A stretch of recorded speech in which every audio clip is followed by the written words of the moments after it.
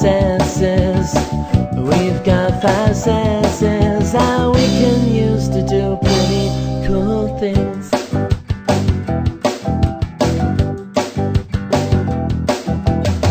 I've got a nose, I can use it to smell just about anything. Like a flower or some cookies baking.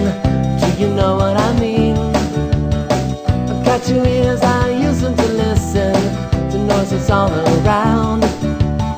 Like birds chirping or a song on the radio. How I love that sound. We've got five senses.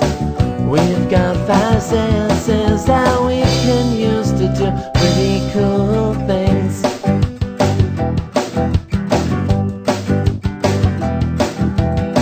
I got a tongue,